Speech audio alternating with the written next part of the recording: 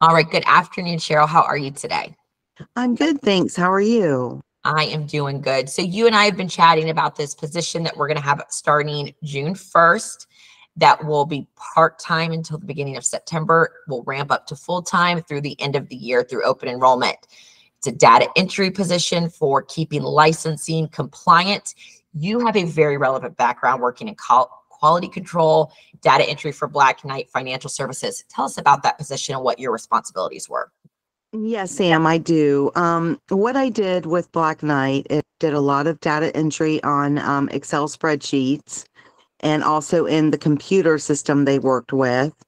And I did um, quality control, um, which means I checked a lot of legal documents, uh, mortgages, deeds, liens, to make sure that everything was correct on the package before we sent it over to the lender.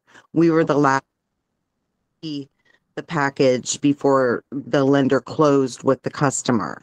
Okay, understood. Now, just to kind of give me an idea of the volume for something like that, because I'm familiar with like how large a title packet can be just from experience, but how many of those would you be having to audit? Oh, Roughly. I would say at least probably about 50 a day. Okay. Yeah. And it's multi-page documents per day. Yes, it was. Yes. Okay, fantastic. And in that role, what would you say was one of your favorite things about working a position like that? I mean, you did it from 2018 to 2023, so great tenure with that company. What did you enjoy about a position like that?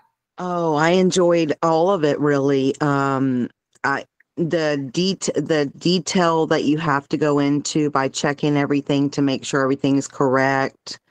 I enjoyed working with my team. Um, I enjoyed the data entry part of it. I really liked doing that. So, and I learned a lot from it. So I enjoyed that as well. Absolutely. Now, Cheryl, being that this is most likely a project, just want to make sure that that's something that you are comfortable with. But if it did turn into an opportunity for you to go permanent, is that something that you're open to as well? Yes, absolutely. Okay, fantastic. Well, Cheryl, that's really all I kind of wanted to capture today on our digital cover letter. So I'm going to go ahead and stop the recording and the chat with you a little bit more if that sounds good. That sounds good. Thank you.